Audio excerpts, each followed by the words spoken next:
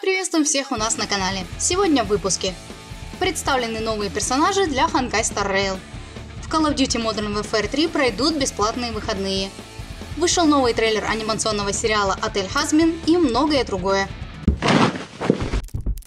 Компания Hoyoverse анонсировала двух новых персонажей для проекта Honkai Star Rail. В этот раз пользователям представили мастерицу театрального искусства по имени Искорка. Героиня обладает квантовым типом урона и использует путь гармонии.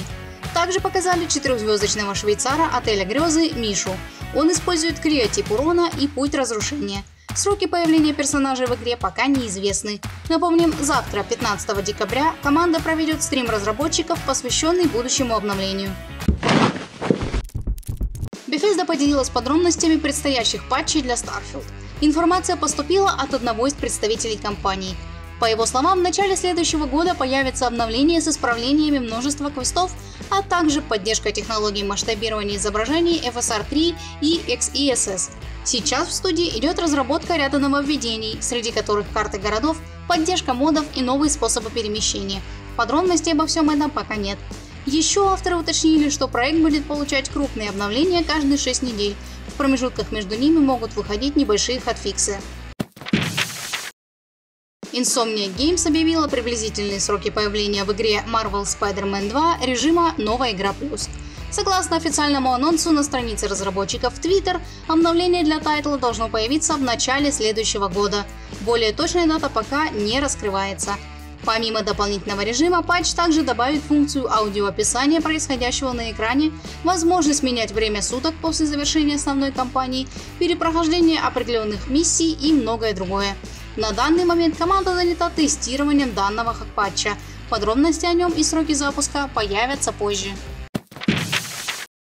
В турецкой версии магазина PlayStation Store произошло повышение цен. Согласно информации сотрудников портала PS Prices, изменения затронули почти 500 тайтлов. Во многих случаях стоимость проектов возросла почти в два раза. К примеру, за Cyberpunk 2077 теперь придется заплатить полторы тысячи лир вместо 800. Примечательно, что это уже второе изменение ценников за последние два месяца. Предыдущее произошло в ноябре перед началом распродажи «Черная пятница». Сама компания Sony изменений не прокомментировала. Ubisoft зарегистрировала домены для нового проекта серии Might and Magic, получившего подзаголовок Fates. Согласно информации, данное название, скорее всего, является финальным вариантом. Подробности обнаружил блогер Куракасис. Он также напомнил, что ранее Ubisoft разместила вакансии для разработчиков, имеющих опыт в создании игр с открытым миром, для производства новой части франшизы Might and Magic. Сама компания информацию пока никак не прокомментировала. Для Call of Duty Modern Warfare 3 анонсированы бесплатные выходные. Акция пройдет в период с 14 по 18 декабря на ПК, а также консолях Xbox и PlayStation. В рамках пробной версии пользователям будут доступны 6 основных карт Terminal, Rust, High Rise, Shipment, Афган и Mid, три наземные военные карты Держава Попова, Орловская военная база и Курорт Левин, и основные режимы Team Deathmatch, Hardpoint, Domination, Kill Confirm, Ground War и War – а также набор плейлистов. Студия Cyber Interactive сообщила причины снятия симулятора бездорожья SnowRunner и Mudrunner Games продажи в РФ, Беларуси и Украине. По словам представителя команды, причиной удаления проекта из регионов стали модели грузовиков Ford CLT 9000 и Ford F750. Авторы не смогли устранить возникшие юридические проблемы, связанные с использованием моделей данного транспорта в игре, а потому решили заменить их на AWMG TX340 и AWMG AC1610. Они получат новый дизайн и характеристики, чтобы не ассоциироваться с предыдущими версиями.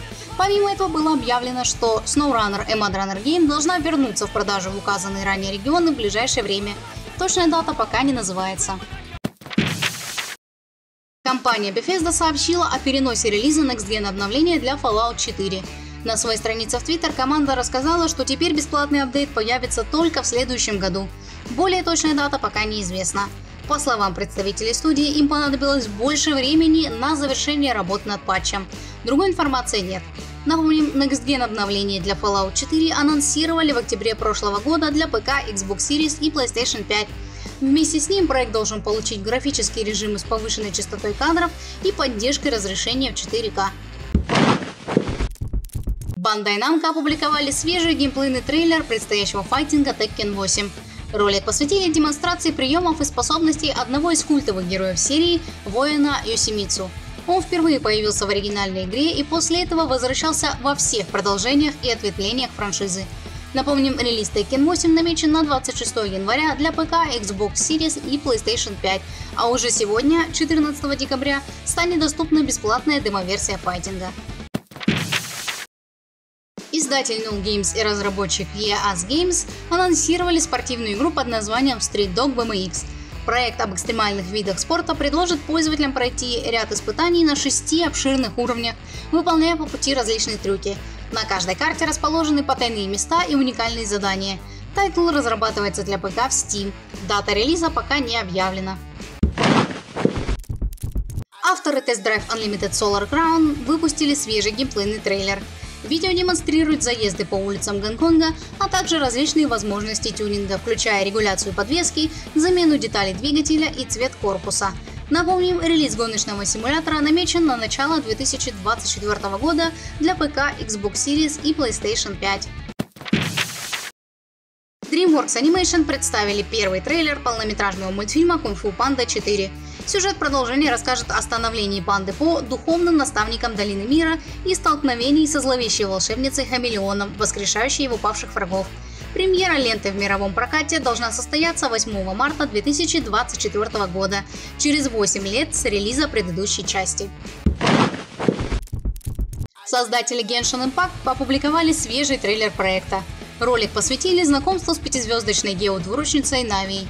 Напомним, героиня должна появиться в баннерах первой половины патча 4.3.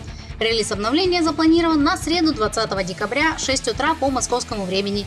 Предварительная загрузка стартует 18 числа текущего месяца.